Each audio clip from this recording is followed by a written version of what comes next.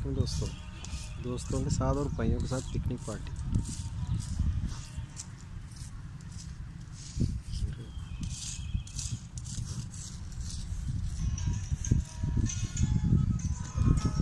नहीं कोई ख़ास